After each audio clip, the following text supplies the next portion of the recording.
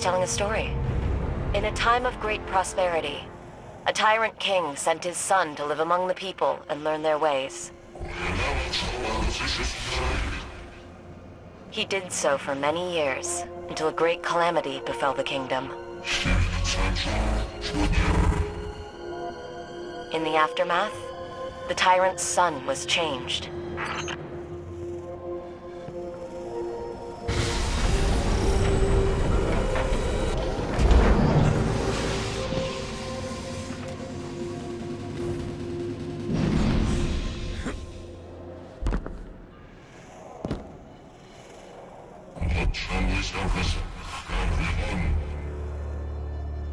The tyrant's son turned away from his father and became a warrior.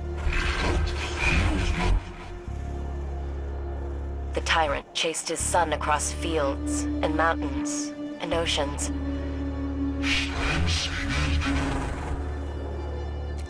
He said, if I can't have my son, then no one shall.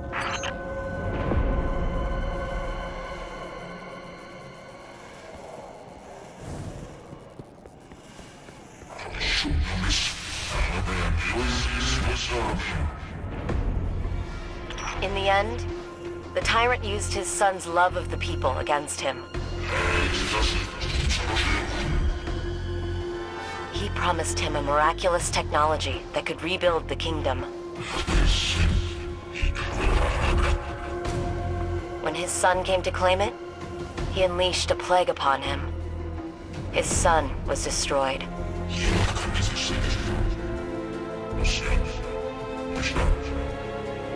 And the tyrant looked upon his tyranny and wept.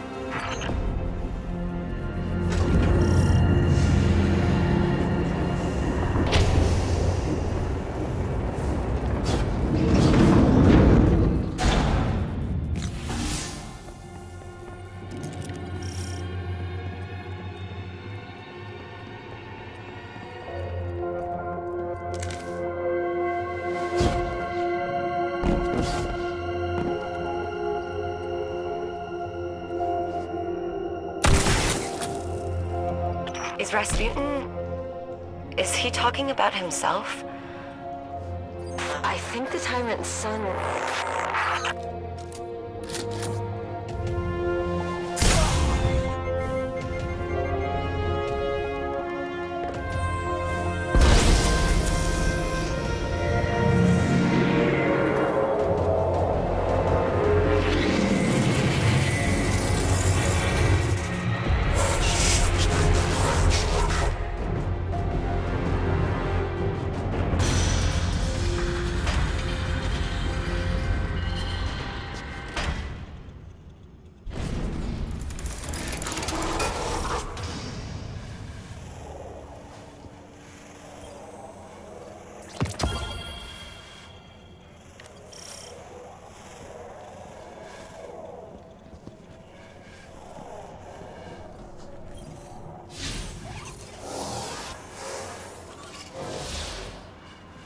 Guardian, can you read me?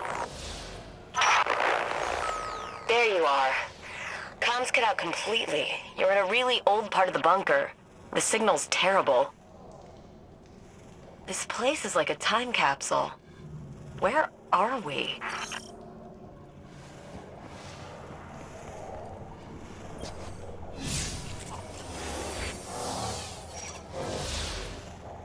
This looks like the casing of an old safety AI, but marked with Rasputin symbol. These transcripts suggest his original code was for a sort of emergency response system from pre-Golden Age space stations. Checking oxygen levels, fuel, that kind of thing. Clovis Bray took a safety AI and turned it into an interplanetary defense system with sentience. And Rasputin kept all this, almost like a scrapbook of his past, a way to remember his roots. And he showed it to us. When did he learn to be so sentimental? Wish Zavala could see this.